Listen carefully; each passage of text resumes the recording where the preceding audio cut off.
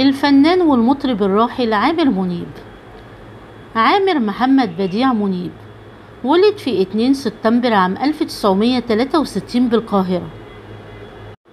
ينتمي الفنان الراحل عامر منيب لأسرة فنية حيث أن جدته هي الفنانة الراحلة ماري منيب والتي اعتادت أن تصطحب حفيدها لمسرح نجيب الريحاني لمشاهدة أعمالها واستمرت في ذلك حتى وفاتها عام 1969 بينما كان الطفل الصغير لم يتم عامه السادس. نجحت الفنانة ماري منيب في زرع حب الفن بقلب حفيدها والذي لا يعلمه الكثيرون إن الفنان عامر منيب دخل الوسط الفني عن طريق الصدفة. في عام 1987 كان عامر منيب يستعد للسفر إلى أستراليا للحصول على الدكتوراه والعمل والاستقرار هناك. ولكن قبل السفر اجتمع مع أصدقائه لتناول وجبة السحور بإحدى الفنادق وتوديعهم. وتصادف وجود بعض الفنانين الكبار بالفندق. مثل الفنان الكبير محمود ياسين وزوجته الفنانة شهيرة والفنان الراحل نور الشريف وزوجته الفنانة بوسي والفنان الكبير الراحل فاروق الفيشاوي والموسيقار حلمي بكر. ليقدم عامر منيب إحدى أغنيات الراحل محمد عبد الوهاب. ليلفت انتباه الملحن الكبير حلمي بكر الذي لم يكن يعلم أنه حفيد الفنانة الراحلة ماري منيب. ويقنعه بعدم السفر والبحث عن مستقبله الفني في مصر. بدأ عامر منيب في حضور دروس العود مع الموسيقى. للملحن الشهير عاطف عبد الحميد وتعلم على يده العزف على آلة العود. كما تعلم لاحقا البيانو وبعد ذلك قام بتكوين فرقة موسيقية خاصة به قدم من خلالها العديد والعديد من أغنيات الفنان الراحل العندليب عبد الحليم حافظ. أما عن حياته الشخصية فقد تزوج الفنان الراحل عامر منيب مرة واحدة. من سيدة من خارج الوسط الفني تدعى إيمان الألفي وأنجب منها ثلاث بنات زينة ونور ومريم حيث أطلق عليه في الوسط الفني أبو البنات.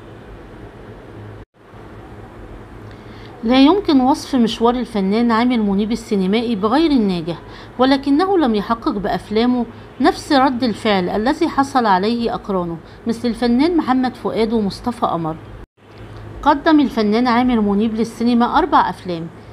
هي سحر العيون عام 2002 كيمو وأنتيمو عام 2004 الغواص 2006 كامل الأوصاف 2006 كما طرح الفنان الراحل أكثر من 12 ألبوم غنائي خلال مشواره الفني. توفي الفنان الراحل عامر منيب صباح يوم السبت في 26 نوفمبر عام 2011 بمستشفى دار الفؤاد عن عمر ناهز ال 48 عام بعد صراع طويل استمر عامين مع مرض سرطان القولون. ترك الفنان عامر منيب قبل وفاته وصية غريبة لزوجته السيدة إيمان الألفي. حيث طلبها بعدم السماح لشقيقته أمينة بحضور جنازته أو أخذ العزاء فيه إلا بعد أن تتوب إلى الله وترد الأموال التي استولت عليها من ضحاياها في دبي ومصر لتحافظ على اسم عائلتها المحترمة. وذلك بعد أن تورطت أمينة منيب في أربع قضايا نصب لاستيلائها على أكثر من 20 مليون دولار.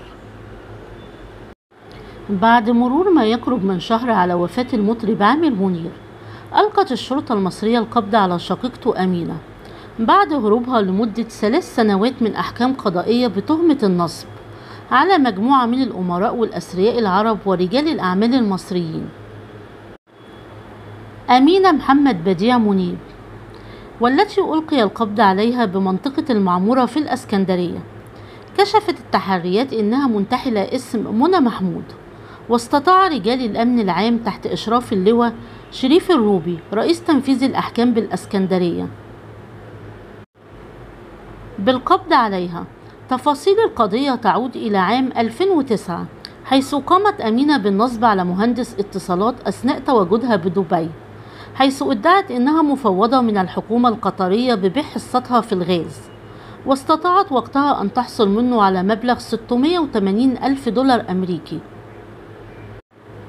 وقامت بإصدار شيك بنكي مسحوب على بنك دبي الوطني بلا رصيد ثم قامت أمينة بالاستيلاء على مبلغ 900 ألف دولار من المدعو سمير أنطوان جرجس. كما أقام ضدها رجل أعمال سعودي دعوة يتهمها فيها بالنصب عليه والاستيلاء منه على مبلغ مليون وخمسمائة ألف دولار. كما إن هناك حكمان قضائيان نهائيان. بست سنوات لصالح سيدة أعمال وشقيقتها قامت المتهمة بالاستيلاء منهم على مجوهرات ولم تقم بسداد ثمنها.